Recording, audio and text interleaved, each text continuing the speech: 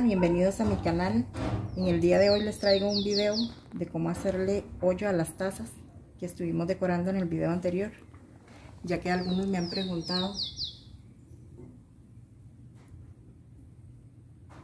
Entonces vamos a necesitar un desarmador, un martillo y por supuesto las tacitas. Para hacer los hoyos también necesitamos un recipiente con agua o si quieren también se puede hacer con un recipiente con tierra. Entonces vamos a empezar con el del agua para que les quede bien claro los dos. Vamos a sumergir la taza de manera que entre todo el agua y que no quede aire dentro de ella. Porque si le queda aire se nos puede reventar la taza entonces la metemos y nos aseguramos de que no quede nada de aire.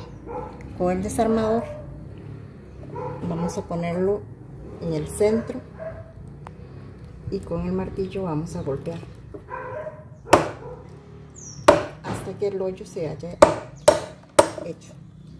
Así de esta manera.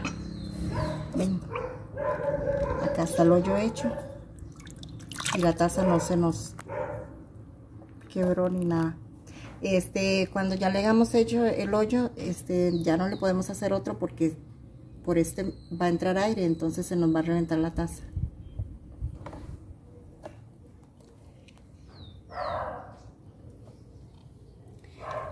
Ahora lo haremos también con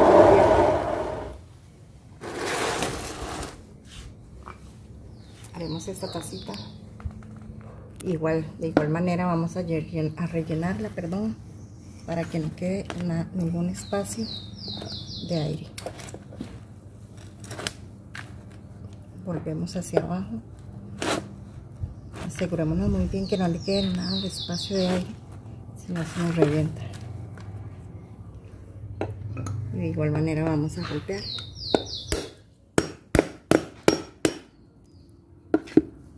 Aquí ya está hecho de esta manera quedó. No se nos reventó ni nada y el hoyito quedó bien redondito. En caso de que no quisieran hacerle hoyo a las tacitas o alguna maceta porque la van a poner en algún mueble este para que el mueble no se vaya a mojar, humedecer entonces podemos ponerle también como más o menos un centímetro dependiendo del tamaño de la tacita o, la, o el recipiente que vayamos a usar. Eh, le ponemos piedrita, estereofón, le podemos poner también carbón para que cuando vayamos a regar entonces el agua se estanque abajo y no se encharque el sustrato y no se nos vaya a podrir las, las plantitas que vamos a sembrar ahí. Si no le hacemos hoyo a las a los recipientes debemos de tener un riego controlado. Entonces, este, la gracia tampoco es verdad que se vaya a destacar mucho el agua abajo y entonces el sustrato siempre vaya a estar húmedo.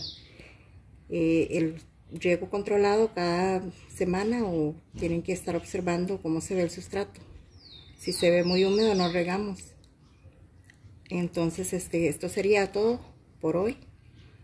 Eh, les recuerdo que si les gustó, compartan, suscríbanse y espero que les haya, que les sirva de mucho. Muchísimas gracias a todos y nos vemos en el próximo video.